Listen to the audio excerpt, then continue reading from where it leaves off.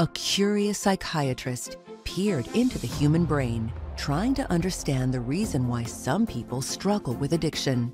And what she found helped destigmatize this disease. Biography you need to know.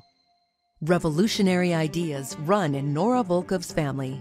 Her great grandfather was Leon Trotsky, but Volkow says it was an uncle's struggle with alcoholism that inspired her to study psychiatry. She wanted to uncover why some people experience addiction. To find out, Volkow used brain imaging to learn more about the effects of drugs and alcohol. She saw that the area of the brain essential to decision making and self control changes in the brains of people experiencing addiction. Volkow's discovery stripped away negative myths that addiction is a moral failing, helping people get the treatment they need. You need to know. Dr. Nora Volkow.